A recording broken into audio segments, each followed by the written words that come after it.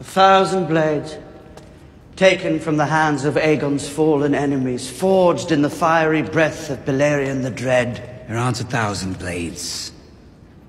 There aren't even two hundred. I've counted. Huh, I'm sure you have. Ugly old thing. Yet it has a certain appeal. The Lysa Arryn of chairs. Shame you had to settle for your second choice. Early days, my friend. It is flattering, really. You feeling such dread at the prospect of me getting what I want. Thwarting you has never been my primary ambition, I promise you. Although who doesn't like to see their friends fail now and then? You're so right. For instance, when I thwarted your plan to give Sansa Stark to the Tyrells, if, I'm going to be honest, I did feel an unmistakable sense